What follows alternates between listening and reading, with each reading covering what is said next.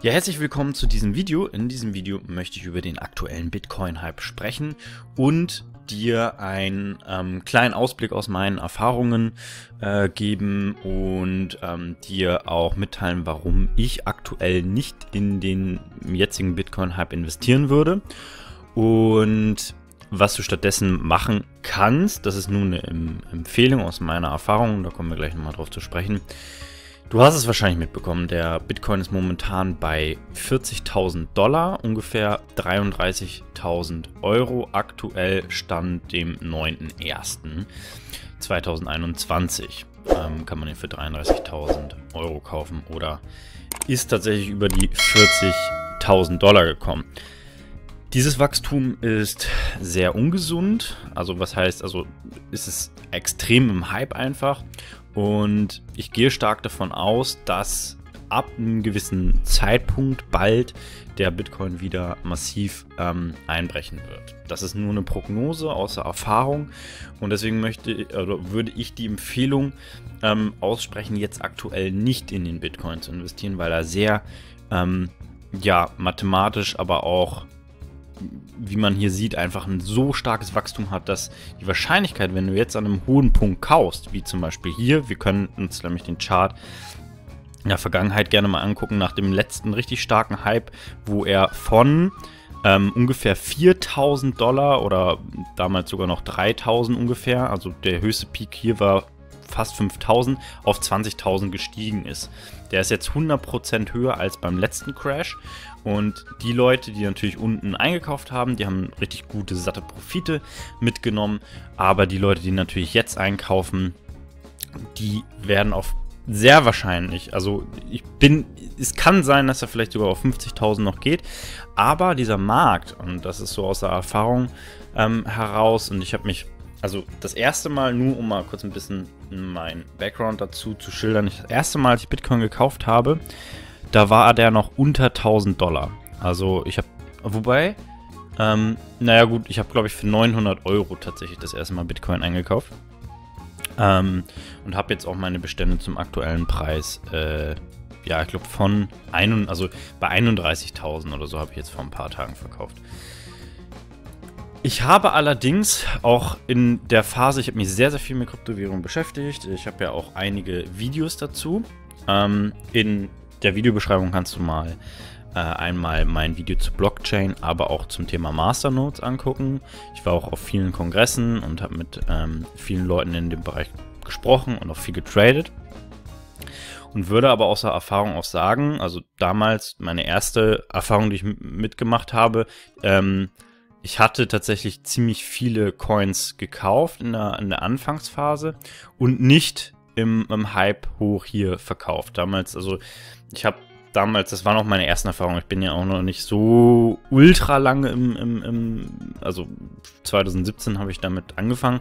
Das heißt, verglichen mit anderen Leuten habe ich natürlich nicht die Ultra-Erfahrung gehabt.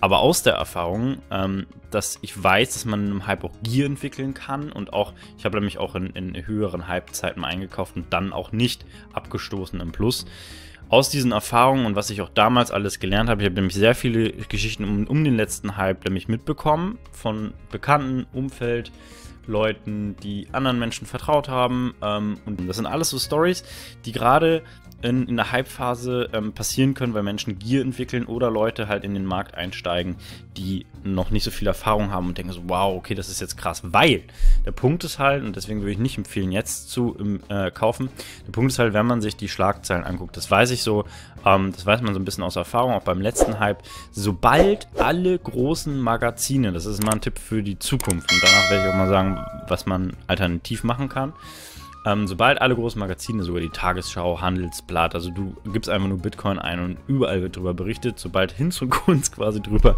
ähm, berichten, sobald alle drüber berichten, ähm, weiß man, dass der Hype so stark ist, dass es sich wahrscheinlich in eine andere Richtung entwickelt. Das war beim letzten Mal auch so.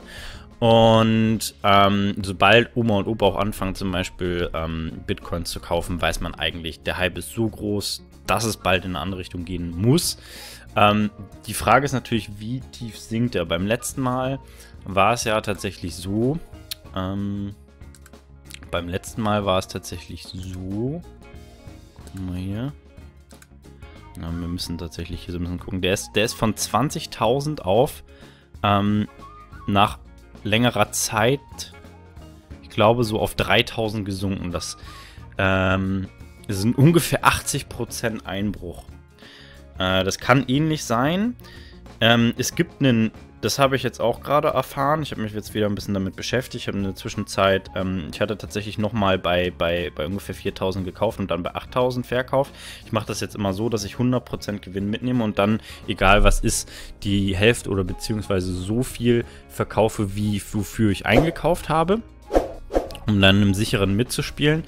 Und was ich empfehlen kann, ist tatsächlich antizyklisch zu kaufen. Das heißt, du, wenn, wenn man ungefähr weiß, also das ist so ein krasser Anstieg, der mathematisch um 100% überreizt ist, ist die Wahrscheinlichkeit, dass er, dass er einbricht, einfach sehr groß. Obwohl ich mich sehr wundere, dass er sich über 40.000 hält. Ja, da wundere ich mich. Okay, kann sein, dass er noch weiter steigt, aber ich glaube einfach nicht. Nochmal zum, zum Markt. Der Markt ist vergleichsweise mit dem Forex-Markt zum Beispiel sehr klein. Ähm, das sind 700 äh, 6, ja, 766 Milliarden, das ist viel, das klingt auch viel, ähm, das ist viel Geld. Allerdings, wenn nur mehrere Großinvestoren oder auch Banken, weil da sind ja auch Banken involviert und Großinvestoren, wenn einfach nur ein Konsortium davon jetzt mal davon ausgeht, okay, wir haben jetzt ähm, einen Punkt erreicht, wir haben unsere Stop-Losses, das ist quasi eine ähm, vorgeschaltete Order, wo man sagen kann, okay, ähm, zu dem Preis wollen wir verkaufen. Wir haben zum Beispiel irgendwo unten ähm, im Damm eingekauft bei 4000 oder so. Wir haben jetzt 1000 Prozent, muss ich auch mal reinziehen, 1000 Prozent Gewinn gemacht. Ähm, dass wir, dass wir sagen, okay, wir verkaufen jetzt mal 70 Milliarden, so, äh, oder Bitcoins im Wert von 70 Milliarden. Das wäre ein Preiseinbruch von, von einer kleinen Menge Investoren, was möglich wäre, von gleich mal 10 Prozent. Und das ist halt richtig krass. Und wenn man sich das mal überlegt, dass theoretisch weniger Investoren noch so einen großen Einfluss auf den Markt haben können, das würde sofort einen gegensätzlichen Hype auslösen.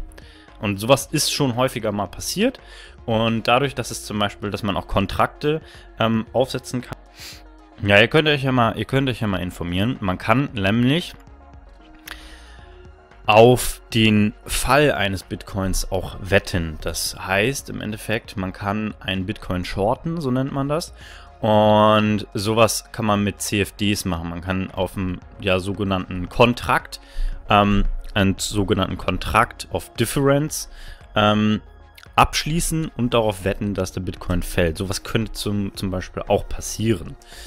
Und ab einem gewissen Punkt, sobald, sobald, er, sobald er fällt, daran können Großinvestoren oder allgemeine Investoren sehr viel Geld dran verdienen und dann ist die Wahrscheinlichkeit eines Absturzes natürlich auch sehr hoch, ähm, wenn das viele tun. Dementsprechend würde ich das jetzt, würde ich jetzt halt nicht einkaufen, sondern vielleicht warten, bis der nächste Crash kommt und dann ähm, kann man natürlich nicht so wirklich voraussagen, wann der beste Einstiegspunkt ist.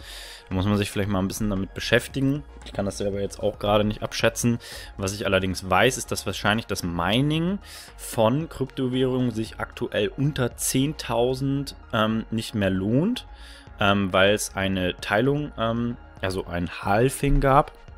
Das heißt, das Bitcoin Mining lohnt sich erst bei einem Preis über 10.000. Das heißt, die Wahrscheinlichkeit, dass er darüber ähm, sich irgendwo einpendelt, ist hoch, kann, sobald er aber unter 10.000 fällt, sogar auch auf Null fallen. Glaube ich jetzt nicht, weil, weil sich so eine große Industrie darum gebildet hat mittlerweile und so viel Akzeptanz auch dafür da ist und so weiter und so fort. Könnte aber auch sein. Deswegen muss man da schon teilweise auch vorsichtig sein, aktuell sich ein bisschen damit beschäftigen. Meine Intention oder zu sagen, ähm, ist auf jeden Fall, dass es nicht so sinnvoll ist, im jetzigen Hype einzukaufen, sondern zu warten, bis es eine Kurskorrektur gibt und dann sich zu überlegen und sich da ein bisschen mit zu beschäftigen, vielleicht auch nochmal ein paar Prognosen anzugucken, wann ein guter Wiedereinstieg wäre. Ähm, wenn du die Bitcoins kaufen willst, gibt es eine Plattform, die ich empfehlen kann und das ist bitcoin.de. Da kannst du ähm, Euros einzahlen und die dann direkt kaufen. Ähm, im Expresshandel und so weiter und so fort. Ich benutze nur diese Plattform. Ähm, würde auch aus meiner Erfahrung, ich habe früher auch viele äh, Alternativcoins, wie man die so nennt. Du kannst bei CoinMarketCap zum Beispiel Kryptowährungen ähm, anschauen, welche Kryptowährungen es so gibt. Es gibt sehr viele verschiedene Kryptowährungen. Es gibt über 1000 verschiedene äh, Kryptowährungen, aber mittlerweile 8000 sehe ich hier gerade.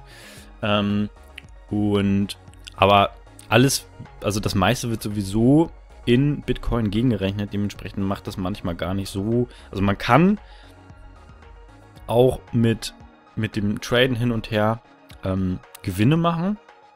Allerdings, ja, aus meiner Erfahrung ähm, ist das so, so sehr zeitaufwendig und muss nicht unbedingt äh, gut funktionieren. Also aus meiner Erfahrung fährt man damit besser, sich einfach nur auf ein einzige zu fokussieren und ähm, das zu nutzen. Man kann das auch anders machen. Ich habe es ausprobiert, aber es ist sehr zeitaufwendig und bringt manchmal nicht unbedingt den, also hat für mich zumindest nicht sehr gut funktioniert. Ähm, deswegen, wenn man dann das macht, dann am besten einfach nur den Bitcoin und äh, dann hat man auch irgendwann mal Ruhe. Muss sich nicht mit tausend Sachen auseinandersetzen und Genau, also Empfehlung als Plattform zum Kaufen wäre bitcoin.de oder ähm, Coinbase zum Beispiel. Und äh, das verlinke ich dir auch gerne in der Videobeschreibung. Wenn du dazu Fragen hast und Anmerkungen oder auch deine Einschätzung dazu abgeben willst, dann tu das gerne. Ähm, würde mich freuen. Ich bin da sehr, sehr gespannt, was eure Meinung dazu ist.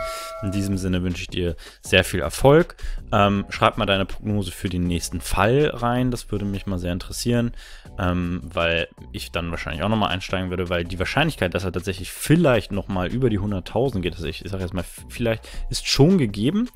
Ähm, weil ich bin auch sehr erstaunt, dass er so schnell jetzt über 40.000 gekommen ist. Das ist krass. Ich glaube allerdings, dass er nochmal einen starken Break bekommen würde. In diesem Sinne wünsche ich dir schon mal sehr viel Erfolg. Ich hoffe, dieses Video konnte dir schon mal weiterhelfen. Und wir sehen, abonniere gerne die Glocke und wir sehen uns in einem meiner nächsten Videos.